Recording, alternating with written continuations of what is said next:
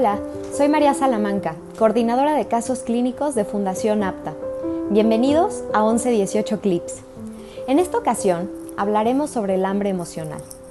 El hambre, desde su función más básica, cumple con elementos vinculados íntimamente a las emociones, ya que la comida es nuestra primer forma de vínculo. Es por medio del hambre que sentimos las primeras manifestaciones de necesidad, insatisfacción y frustración. Esto ocasiona un llanto, un llamado a mamá, a nuestras figuras de cuidado que llegan a saciarnos. Lo que se vive y se interpreta a nivel físico y emocional como placer, cuidado y afecto. El hambre es una señal de supervivencia que preserva la homeostasis en nuestro cuerpo. La grelina es la hormona responsable de que sintamos hambre y la leptina saciedad. Estas hormonas mandan señales que llegan al hipotálamo, donde son interpretadas haciendo que sintamos ganas de comer, antojos o inhibición del apetito. También se regulan en esta área otras funciones vitales básicas como temperatura corporal, ciclos de sueño y vigilia.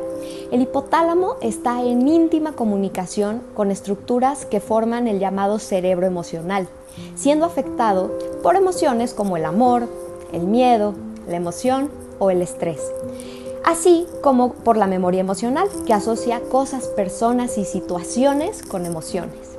Es por eso que a veces no podemos dormir o no tenemos hambre o sentimos un antojo incontrolable cuando estamos muy contentos o muy presionados o muy tristes. Es una señal de supervivencia que preserva la homeostasis en nuestro cuerpo.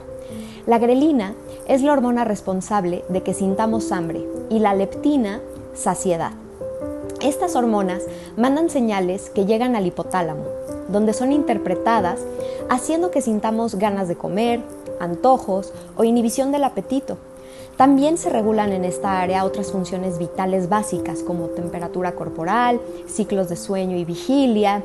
El hipotálamo está en íntima comunicación con estructuras que forman el llamado cerebro emocional, siendo afectado por emociones como el amor, el miedo, la emoción o el estrés, así como por la memoria emocional, que asocia cosas, personas y situaciones con emociones. Es por eso que a veces no podemos dormir o no tenemos hambre o sentimos un antojo incontrolable cuando estamos muy contentos o muy presionados o muy tristes.